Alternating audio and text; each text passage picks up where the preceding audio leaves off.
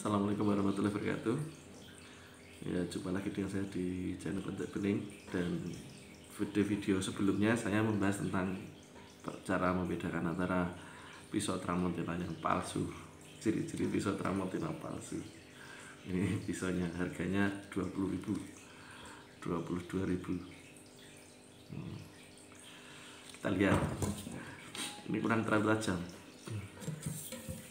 Tidak begitu tajam dan nanti kita coba kita asah. Kita asah kita coba apakah nanti dia bisa tajam seperti teman-temannya yang asli maksudnya. Oke kita coba ya langsung aja. Ini pakai sharpening merek Victorinox buatan Swiss. Kalau ini buatan Brasil tapi ini palsu. Buatan mana kurang tahu. Mungkin buatan C cai cai kurang tahu. Satu dua tiga empat lima enam tujuh delapan sembilan sepuluh sebelas dua belas tiga belas empat belas lima belas enam belas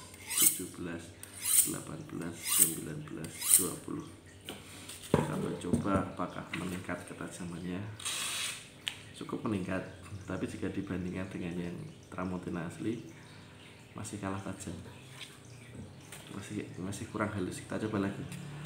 Satu dua tiga empat lima enam tujuh delapan sembilan sepuluh sebelas dua belas tiga belas empat belas lima belas delapan belas sembilan belas dua puluh. Hati-hati ya. Ini karena licin ini ini licin pisaunya licin jadi hati-hati. Pegangannya karena nggak asli jadi agak licin. Agak meningkat sedikit tapi tidak signifikan.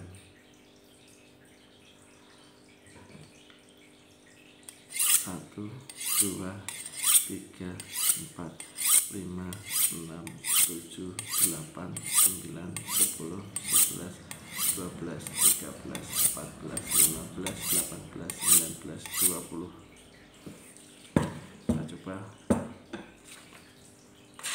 Hmm, Masih. Kita coba gesek pakai yang as yang tramontina asli.